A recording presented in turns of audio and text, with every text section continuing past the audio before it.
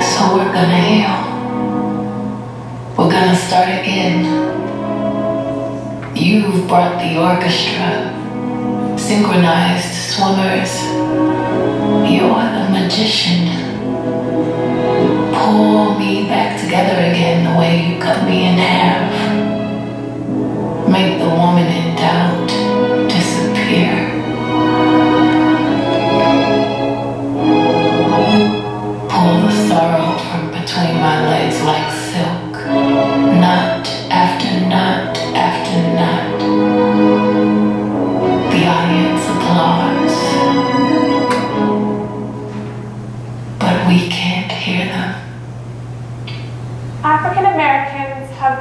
Power and imagination in the arts. This is a fact. Credited not only for the Harlem Renaissance, a cultural, social, and artistic revolution, but because it created jazz, heavily influenced gospel music, and even started the trend in the rap genre. In her performance at the Grammys, which had people talking for weeks afterwards, Beyonce showcased that imagination. In a spectacular, jaw-dropping, multimedia homage to motherhood, Beyonce celebrates not only her pregnancy, but the uncontainable spirit of the black woman that joined her on stage. Countless of them encircled her, as haunting words from the poet Warsan Shire accumulated in the air and eventually fell into the hearts of the audience. An audience whose applause at the end transcended race, gender, and ethnicity. Hundreds stood up to applaud her for the raw pain and courage she unearthed on stage. When the Grammy for Album of the Year went to Adele, many were shocked, angry even. This year, with Adele and Beyonce, music's two largest super divas, going up against each other in all major categories, many began to interpret this year's Grammys as a competition between black and white. And when Adele beat Beyonce in all the categories that they were nominated for, not only did the results speak of the Grammys' failure to recognize the minority, but proved how deep racial tension is still embedded in our country, a country that boasts of equality for all. Yet Beyonce put the whole situation in the best terms possible in a past interview when she said, the reality is, sometimes you lose. You're never too good to lose. You're never too big to lose. You're never too smart even to lose, because it happens. African American artists that allow the world to see all their vulnerabilities and create radical type of work often have to redefine what the word winning means in an industry so dominated by white men. The white men, the white men club, is the judge for works. They get to determine which artists, genres, and songs get to become validated, and which artists, genres, and songs can become dust. Work that is often held on a pedestal as a torch of example to others is work that caters towards that white audience. Now, within the music industry, Adele symbolizes a traditional form of success. She's white, and she sells millions of CDs to her fans.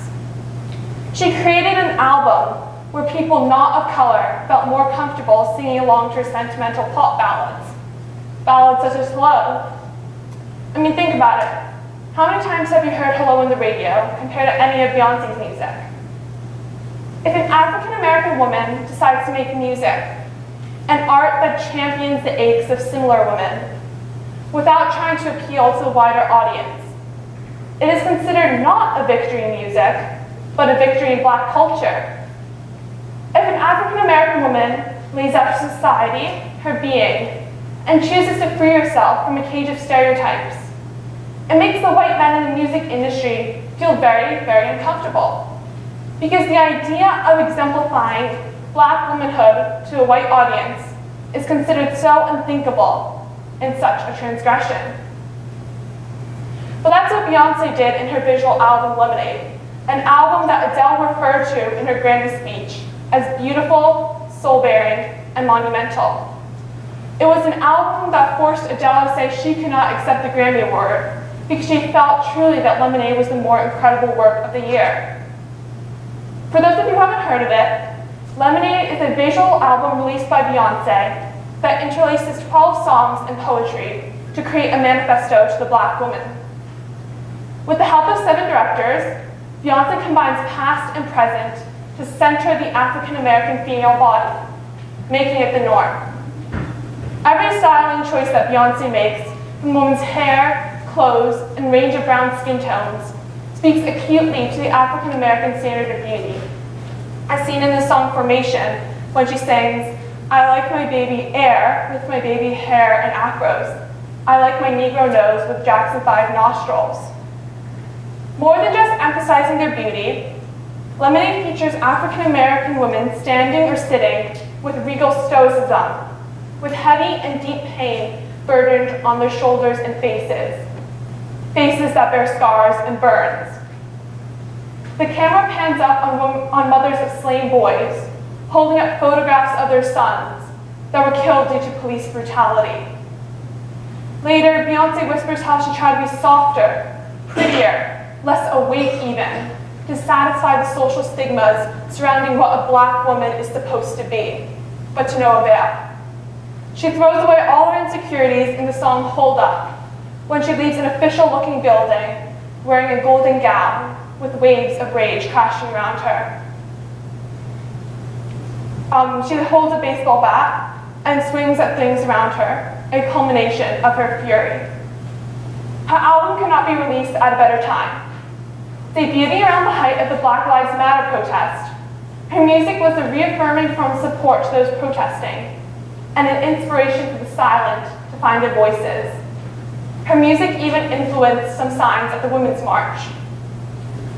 Not only did she help cement a possible path for artists looking to do the same, but she broke beyond the bonds of a pop singer. She did not sing songs about her exes, sex, drugs, money, fame, etc., but created a masterpiece full of racially and politi politically charged pieces showing that black women can and will succeed.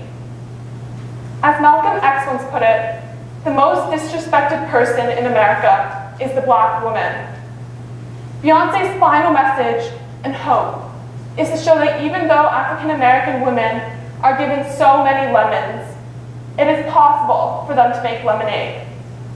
And this beautiful reach to heal our nation is what cements her legacy. Thank you for your time today.